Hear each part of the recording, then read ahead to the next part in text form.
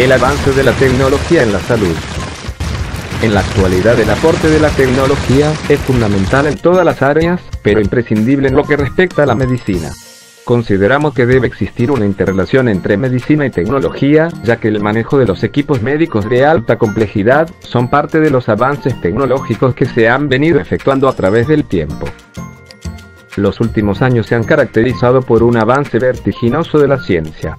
Actualmente todas estas tecnologías avanzan a un paso tan rápido que para los que se dedican a utilizarlas les cuesta mantenerse al corriente de su aparición y utilidades, sin tener en cuenta la experiencia directa con ellas. El desarrollo tecnológico ha propiciado un cambio asombroso en la medicina. Su avance ha permitido conocer infinidad de procesos que explican el porqué de muchas enfermedades, de eventos que ocurren en el organismo humano y de las consecuencias de relacionarse con su entorno.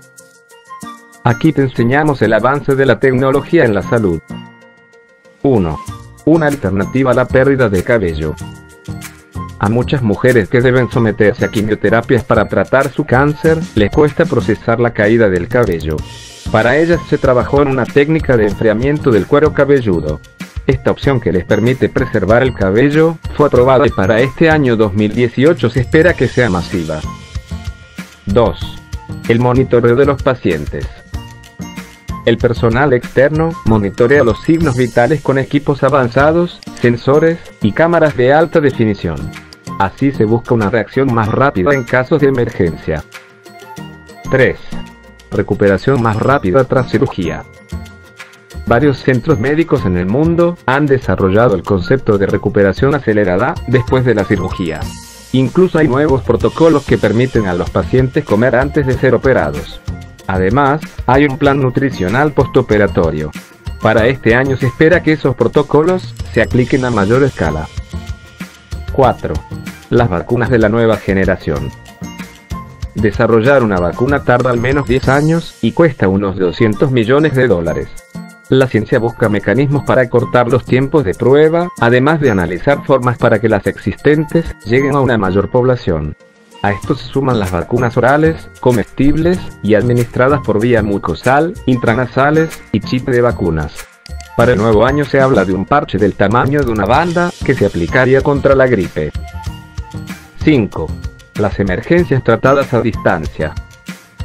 Llevar la atención médica a lugares lejanos es cada vez más factible, pero ahora se intenta que esta opción llegue a todos.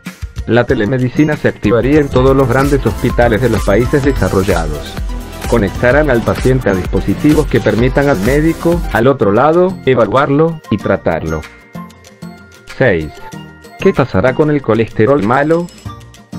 El colesterol LDL o malo puede ocasionar una obstrucción de las arterias. Con las nuevas combinaciones de medicamentos, se logra reducirlo hasta en el 75%. Para el 2018 se esperan nuevas mezclas para llegar a niveles ultra bajos. 7 una terapia génica para males de retina. La decisión está en la cancha de la Agencia de Alimentos y Medicamentos, que debe aprobar una terapia innovadora para las enfermedades que afectan a la retina. Se busca reprogramar células dañadas para que vuelvan a captar la luz. ¿Cómo podemos lograrlo?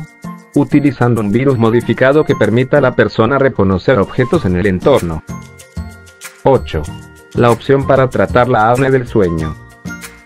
La apnea del sueño, que es una alteración común que se manifiesta con ronquidos y que provoca presión arterial alta, enfermedad cardíaca y accidente cerebrovascular, sería frenada con unos implantes que permiten abrir los músculos clave de las vías respiratorias al dormir.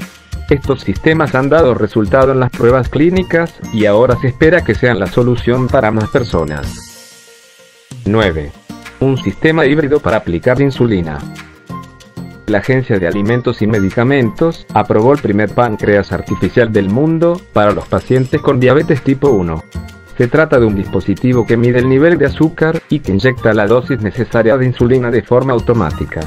Para el próximo año se espera que esta tecnología se vuelva masiva y que se lance una opción similar para quienes tienen diabetes tipo 2. Si les ha gustado este video, suscríbete a mi canal de Salud, Dinero, Tecnología.